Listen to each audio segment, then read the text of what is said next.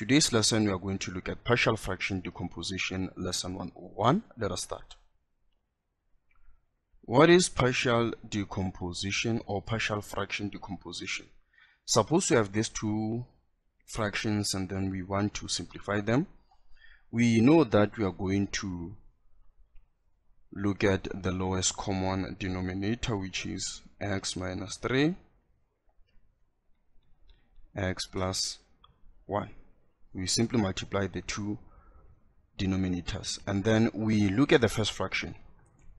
Taking our LCD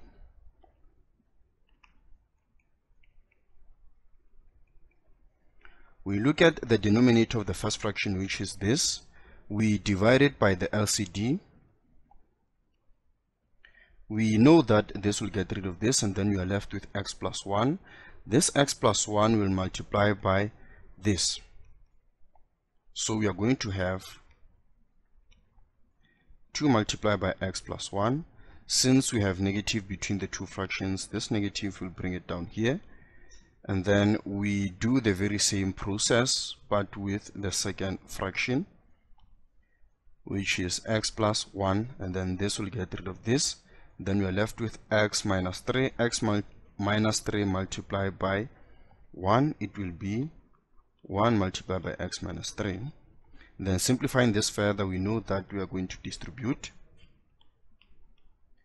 We're going to have 2x plus 2 minus x plus 3 and then simplifying the denominator we're going to have x squared plus x minus 3 x minus 3 then from here we have x plus 5 all over x squared minus 2x minus 3 so we can see that the difference of the two fraction is equals to this.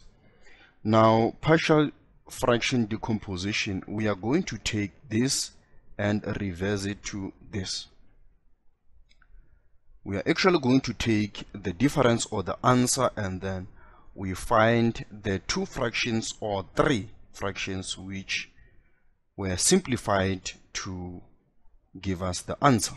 That is basically what is partial fraction decomposition. Let us actually start with the first example. Let us actually start with this one. Now the first step that we need to do, we need to factorize the denominator. That is the first step. So factorizing the denominator, we are going to have x plus 5. We open two brackets. We find the factors of x. And then as we can see that actually there are many methods to find the factors.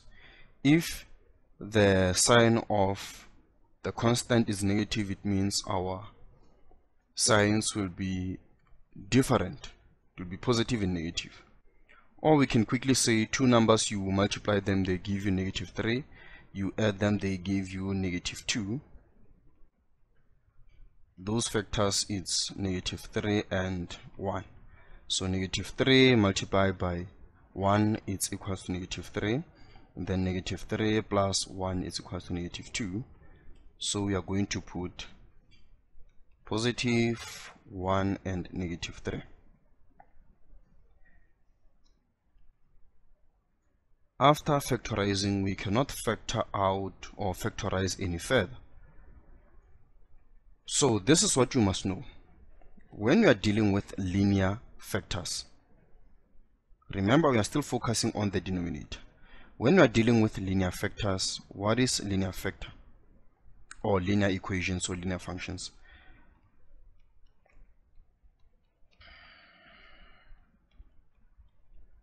As you can see, all these expressions are linear because the highest power of x is 1. And then when we say an expression is a quadratic, it's when we have something like this.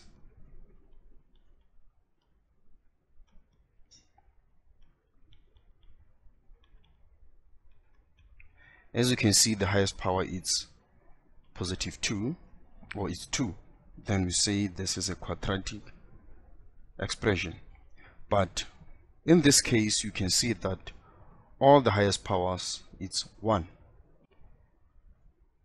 you should know that we are going to have something like this a over x plus 1 plus b over x minus 3 we are going to look at an example whereby we we have a quadratic expression on the denominator. But let us quickly cover it and you'll be able to see the difference. Suppose you have something like this.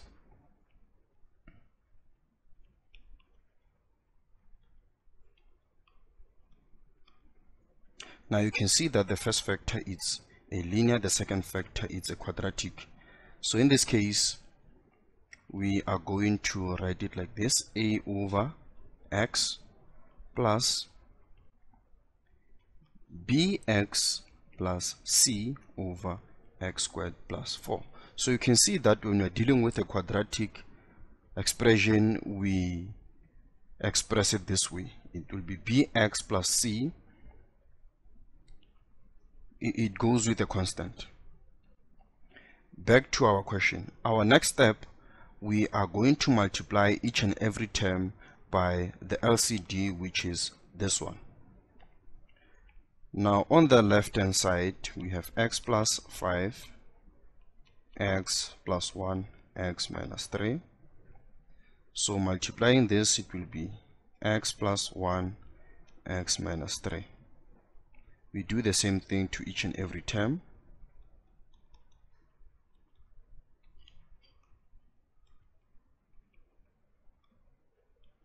X plus 1 x minus 3 x plus 1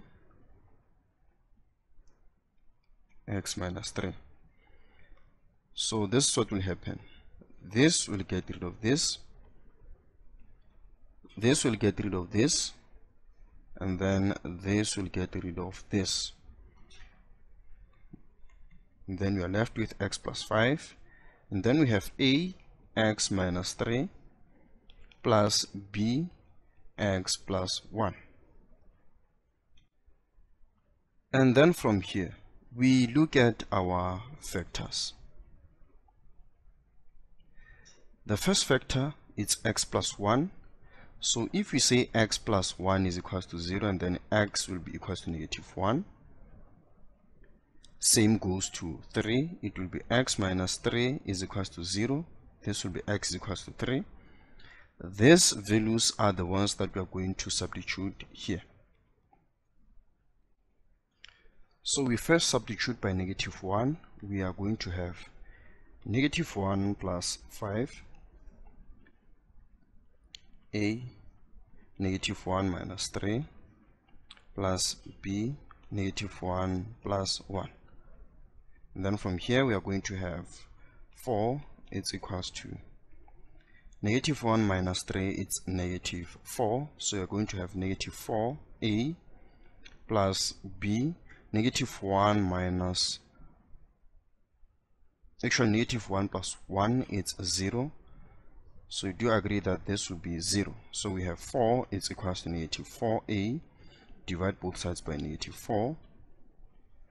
Then the value of a is equals to negative 1.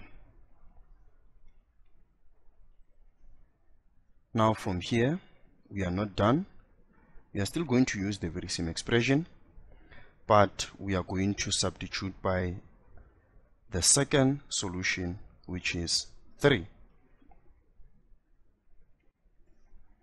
Where we see x we are going to substitute by 3 plus 5 is equals to a 3 minus 3 plus b 3 plus 1 then 3 plus 5 is 8 it's equals to a. 3 minus 3 is 0 plus b will be equals to 4 I mean b multiplied by 4 so we have 8 is equals to 4 b we divide both sides by 4 then b will be equals to 2 then we go back to our expression or equation. We get that a is negative 1 x minus 3 plus b is 2 x plus 1 so this is equals to this. When we simplify this we are going to get this. That's it for this lesson video. This is Bahula SJ thank you very much